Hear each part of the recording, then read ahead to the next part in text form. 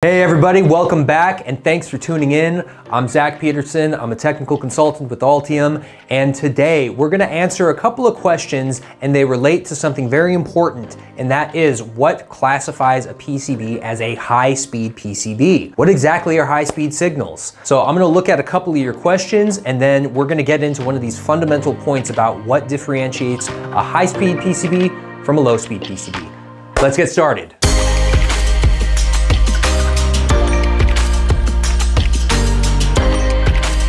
Okay, so before we get started, I want to show a couple of these questions that came up on a previous video. V12 Alpine asks, I'm an ex-engineer and certified dummy making some high-speed 16 megahertz max boards, and this video is on point. Currently in the middle of troubleshooting random issues on my latest board, and guess what? I put a ferrite after the regulator.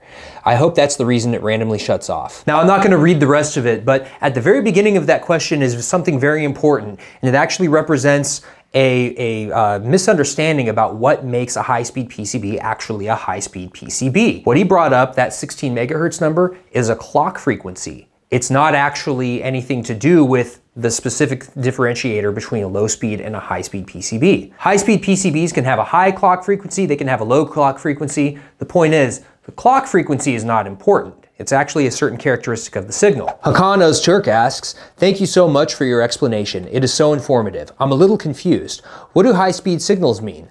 What are the speed of high-speed signals or what frequency range are they in? This is a great question. And it relates again to one of the fundamental misunderstandings of what actually makes something a high-speed design. I think a lot of people will look at the clock frequency and they'll say, oh, my digital signals have their frequency confined in that range. And that's actually not correct. So we're gonna look at what exactly is a high-speed uh, PCB and what is a high-speed signal. And we're gonna look at how that relates to the frequency content contained in that signal. Okay, so to get started, let's look at what exactly a high-speed signal is. And then what we'll do is we'll look at how that influences the frequency content in that signal and why exactly that's important in a PCB. What I'm gonna do now is just draw a graph showing your basic high-speed signal.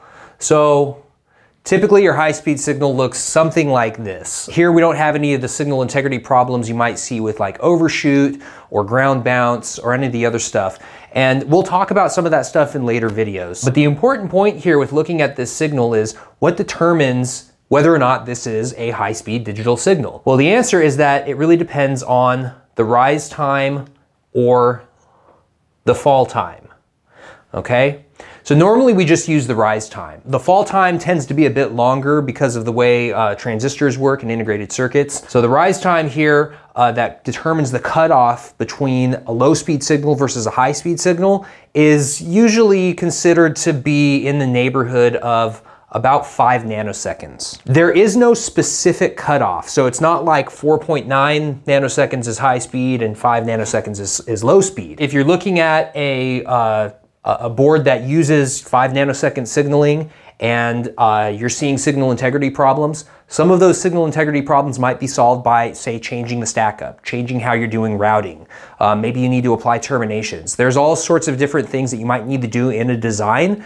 And some of that stuff could have really nothing to do with specifically this uh, this rise time versus some other rise time, and some of them do. Okay, so again, uh, five nanoseconds sometimes taken as you know about the cutoff for high-speed design, but high-speed signals can get very fast, and uh, the rise times can get as low as about tens of picoseconds. Um, really just depends on the component and how they're constructed. But there's this huge range of possible rise times that could constitute a high speed signal. And in general, you could observe the same signal integrity problems that you see with a 5 nanosecond signal as you observe with a 10 or 20 picosecond signal. Um, it all depends on how the board is routed and how the stack up is created. Sometimes some of those mistakes that you might see in a 5 nanosecond board, they do get a lot worse in a 10 picosecond board because this rise time is so fast. And a lot of those effects relate to crosstalk, ground bounce, uh, EMI, those are all problems that we'll address in different videos, um, but this is really what defines the, the, uh, the difference between high speed and low speed is the rise time. So next what we want to do is look at how does this influence the frequency content in the signal? Okay, so now what I want to do is look at uh, what's the difference between clock frequency versus signal content that's carried by a digital signal.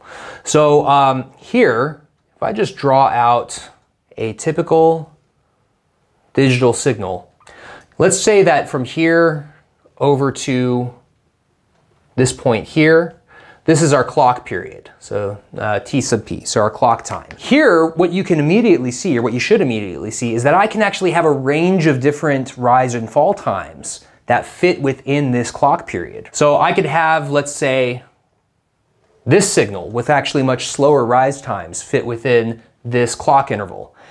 I could actually have this much faster signal fit within this same clock interval. Each of these different signals is going to have different frequency content, but they have the same clock frequency. So the clock frequency really has nothing to do with it. It's all based on this rise time. So this rise time is going to determine what the bandwidth of your digital signal is. So this is something that's really important because it's going to determine how well you can actually measure a digital signal like with an oscilloscope. Theoretically, this bandwidth meaning the, the, uh, how the power spectrum spreads out in the frequency domain, could go all the way out to infinity. What really matters is where 90 or 95% of the bandwidth is, some, some sort of cutoff like this. If just from looking at this, we accept that we can have different rise times that fit within the same clock frequency, we then have to ask, well, where is all that power that's carried by this digital signal concentrated in the frequency domain? Because what really matters in terms of sampling a signal and trying to measure a dig digital signal like with an oscilloscope,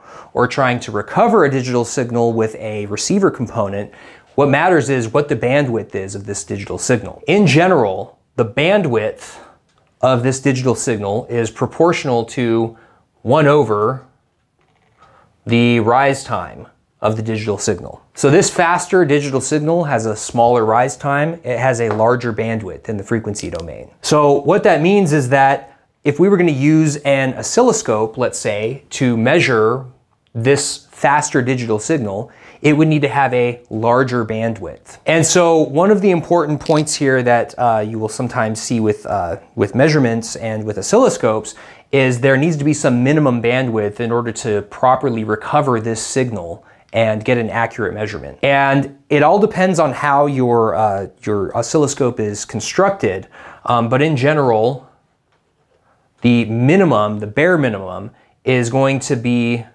0.35 divided by the rise time. Realistically, with the way that uh, the input stage of an oscilloscope works and how it filters the, the signal, or how it functions as a filter, I should say, um, this bandwidth needs to be much larger, more like 0.5 divided by the rise time. This is sometimes taken as an approximation with this 3 here. Uh, this is sometimes taken as an approximation of the bandwidth of a digital signal.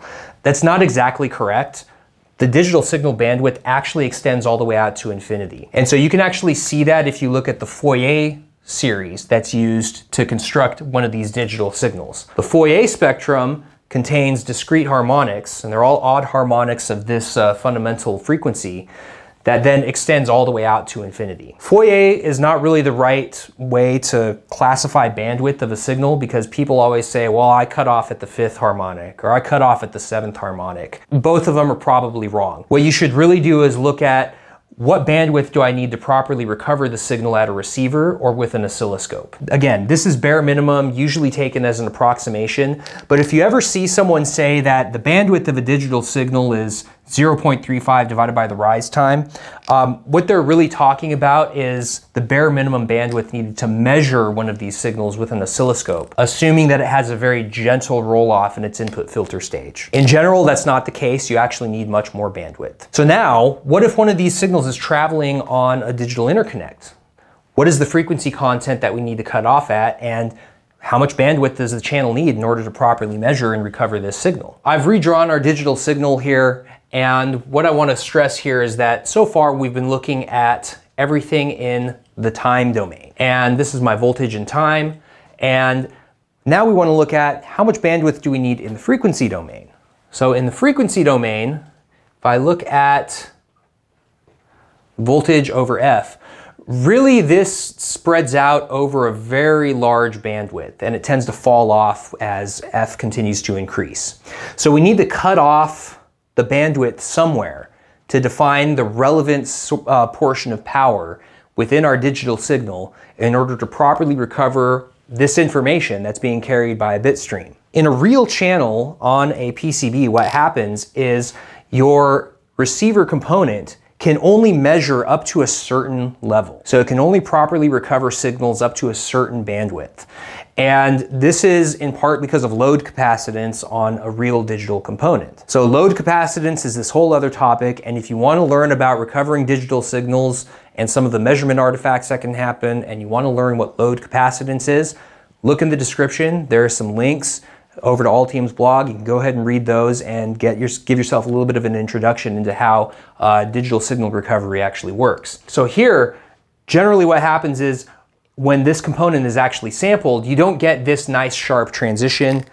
It's usually a little bit gentler of a transition and that's because of this bandwidth limiting effect in a real uh, in a real interconnect on a PCB. In addition, because we're dealing with a high speed signal, there could be other measurement artifacts that are present on this signal. Um, and when I say measurement artifacts, what I mean is signal integrity problems that occur due to the fact that we're dealing with these very fast edge transitions. So you could have crosstalk, you could have ground bounce. So ground bounce might cause this ringing on uh, on the rising and falling edges. You could have signal reflections uh, along a uh, along an interconnect due to impedance mismatches along the interconnect. So that would cause uh, some other distortion, which there's really no general shape that I can draw to show what uh, what reflections create on a digital signal. This all relates back to the rise time and this is why you see a lot of the different constraints and guidelines around high-speed PCB design. It's in order to make sure that this black signal, which you could take as like your source signal, that you send into a transmission line or into an interconnect on a high-speed PCB, is actually read out as close as possible to this black signal. So that requires overcoming a lot of different noise sources and it requires uh, properly routing the, the signal so that you actually receive it correctly at the receiver. Okay, so we've really covered just some of the bare basics of what makes a high-speed signal act like a high-speed signal. It's all about that rise time. The rise time is really fast. You have more power concentrated at higher frequencies, and you're more likely to see some of the problems that are typical of what we would consider to be a high-speed PCB. Edge rate is really the important quantity here, so just pay attention to that in your data sheets. And remember, just because you have a low clock speed component, maybe it's a low cost MCU, doesn't necessarily mean that it's immune to high speed PCB design problems. It could actually run with a, a rise time of maybe a couple nanoseconds. So that's pretty typical in a lot of components. And this is why we sometimes like to say that all designs are really high-speed designs, especially if you're dealing with, uh, with digital processors. Okay, everybody, thanks for watching. Hopefully that answers those two questions from two of our viewers. And if you have more questions about high-speed PCB design, and I'm sure there will be more questions, it's a complicated topic, please feel free to leave them in the comments hit the like button, hit the subscribe button, help us hack that YouTube algorithm. And we'll be dealing with more topics that are really prevalent in high speed PCB design in upcoming videos. We've just done an intro here today. We're going to be getting into more of these topics because they're a lot of fun to look at and they are really important for, uh, for modern PCB design. All right, thanks everybody. And I'm going to get out of here. Before I go, I just want to tell you, don't forget to call your fabricator.